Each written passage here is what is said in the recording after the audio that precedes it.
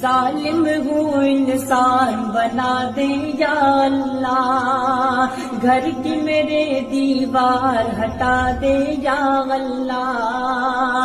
हिंदू, मुस्लिम बैठ के खाए थाली में। मौलाना साद शहीद होने से पहले पढ़ गए ऐसी नज़म, जो आज सोशल मीडिया पर तेज़ी के साथ वायरल हो रही है। तो उस नज़म को भी सुनेंगे तो वीडियो में आखिर तक ज़रूर बने रहें। हरियाणा के मेबात में सोमवार को सांप्रदायिक हिंसा के बाद देर रात तकरीबन साढ़े बारह बजे के बाद गुरुग्राम सेक्टर सत्तावन स्थित मस्जिद को आग लगा दी गई। मस्जिद के इमाम साहब को भी शहीद कर दिया गया।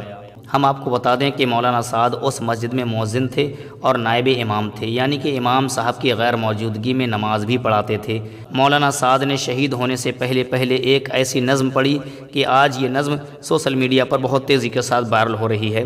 तो आइए पहले इस नज्म को सुनते हैं। जालिम हूँ इंसान, बना दे या अल्लाह।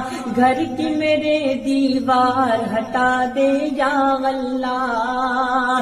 हिंदू, मुस्लिम बैठ के खाए थाली में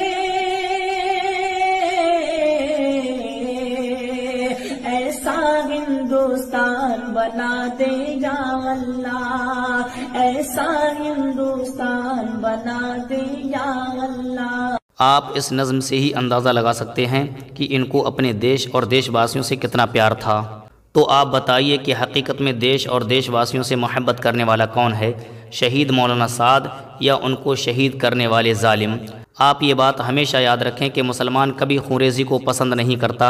ये तालीम हमें हमारे असलाफ से मिली है। मौलाना साद की शहादत उस महीने में हुई है जिसमें आका हुसैन रदी अल्लाह तु की शहादत हुई है। मौलाना साद की शहादत को हमेशा याद रखा जाएगा। मौलाना साद की शहादत को हमेशा याद रखा जाएगा और इसका बेहतर इंसाफ करने वाला अल्लाह है और जब उसका इंसाफ आएगा तो ालिमों को कहीं मुँह छिपाने की जगह भी नसीब नहीं होगी।